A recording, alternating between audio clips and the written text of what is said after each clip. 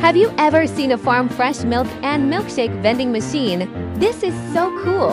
Look at all the amazing flavors they offer! We had the salted caramel milkshake, which tasted so good!